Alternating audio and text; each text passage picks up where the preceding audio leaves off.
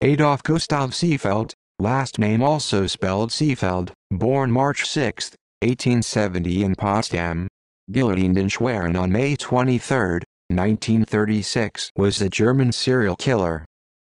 Life Early life born as the seventh and last child of his parents, Adolf was first trained as a locksmith then as a watchmaker who repaired grandfather clocks and pocket watches. He came to Lubeck in 1890 and married Katharina Seefeld, who divorced him in 1910. At the age of 19, his son was sent to a lunatic asylum for moral crimes. Seefeld is said to have been abused by two men at the age of 12. He was first imprisoned at 25 years for sexual harassment of a boy. Psychiatrists diagnosed him as mentally unstable, which is why he spent most of his life in mental hospitals and prisons. Serial murders The Traveler and watchmaker Adolf Seefeld, also called Sandman or, because of his profession, Uncle TikTok and Uncle Addy, abused and killed at least 12 boys during the reign of the Third Reich. As a crime scene he usually chose pine preservations with one exception. A commonality was found in the victim's clothing, who consistently wore sailor suits. Since all children were sleeping peacefully and showed no signs of external violence, the police were mystified by the circumstances of death. It is therefore possible that Seefeld committed more murders that were considered natural deaths. Contemporary experts speculated that Seefeld had used his own homemade poison, chloroform or smothered his victims.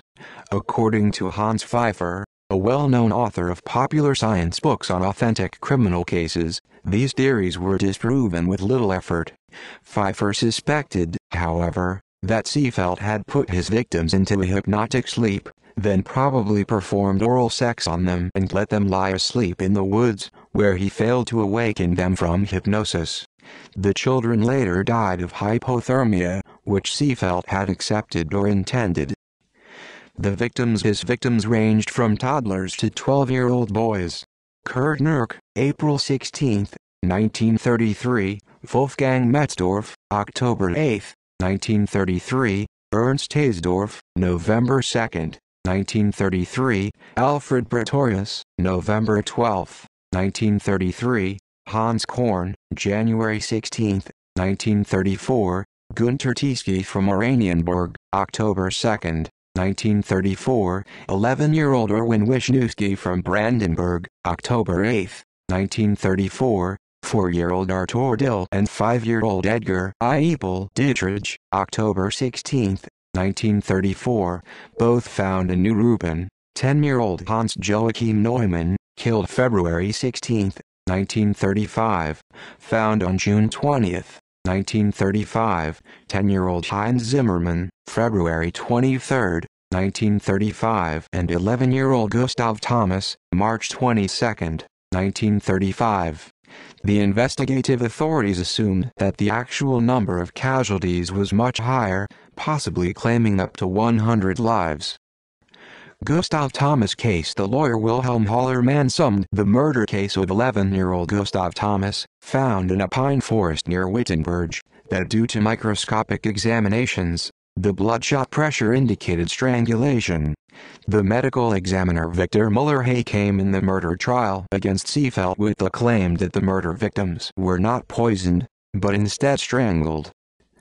Trial and execution The Schwerin jury under the chairmanship of the District Court Director Karl Friedrich Sarkender and the advisory District Court Councils of Wilms and Wies consisted of Butcher Ernst Hahn from Crivitz, Secretary Wilhelm Schneeweiss from Schwerin, Ortsgruppenleiter Friedrich Jonke from Parchim, Mayor Ernst Dub from Luzau, Engineer Otto Arpke from Lüthen and City Councilor Kreisleiter Burr from Ludwigslust, negotiating the case on January 21, 1936.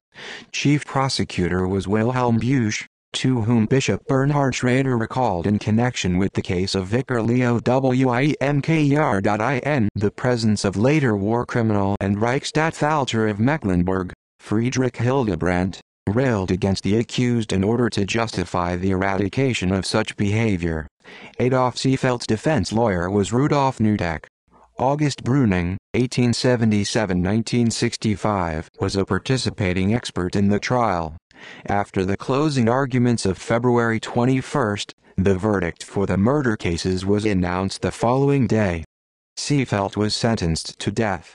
According to the Niederdeutschen Beobachter, on February 29, 1936, Seefeld is to have brought in an appeal. Neither a revision nor revision procedure is historically documented. The judgment was enforced after legal force and refusal of the pardon occurred on May 23, 1936. The records of Seefeld's conviction are poor. In addition to newspaper reports of his execution, there are only two memory protocols of conversations conducted in April 1936 at his cell in Schwerin. The case of Adolf Seefeld was discussed by J. Fischer and Johannes Lang in the Monthly Journal of Forensic Biology and Penal Reform.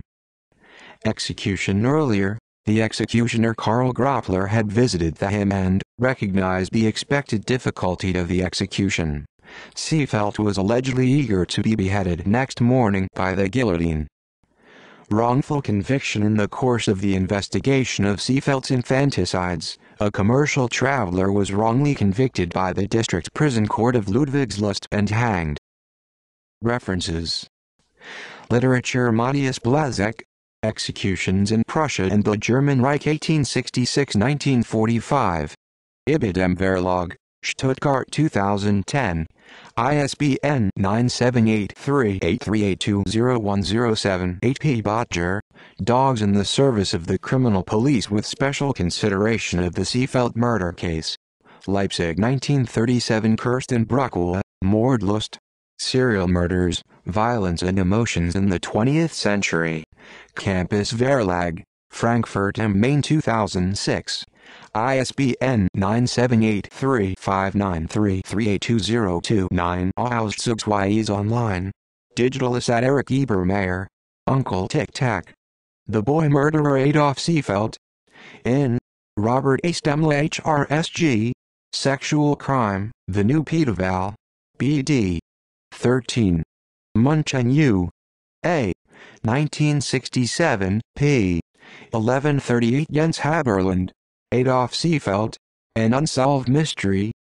In There's Serial Killers in the 20th Century. Berlin 1997. ISBN 3-930057-38-7, p. 125-129 Hans Pfeiffer. The Sandman. Adolf Seefeld, 1933-1935. In Wolfgang Schuler HRSG, Serial Murder in Germany. Leipzig 2005. ISBN 3-86189-729-6. S. 1636 Online S. 146 FF. Retrieved on May 30, 2014 Ulrich Zander. The hunt for the Sandman The trial of serial killer Adolf Seefeld began 80 years in Schwerin wandering clockmaker killed 12 boys. In Schweriner Volkszeitung, Mecklenburg Magazine, 29. January 2016, p. 24. Frank Rainer Schurich, Michael Stricker, The Serial Killer Adolf Seefeld and Modern Criminals. Verlag Dr. Koster, Berlin 2015. ISBN 978-3-895-74875 Frank Rainer Schurich, Michael Stricker, The Beast from the Forest. Historical Criminal Case. Verlag Dr. Koster, Berlin 2015, ISBN 978-3-895-74885. External links Mysterious Murders. Adolf Seefeld, www.planet-wissen.de Splendor and Misery of the German Criminal Police, The Mirror of November 24, 1949 Enkarthen Kompisch, Libertine, Werewolves and Devils. Media pictures of serial killers in the German mass media 1918 to 1945. Dissertation on the dignity of philosophy of the subject group Philosophy and History of the University of Hamburg. Hamburg 2008, especially p. 182.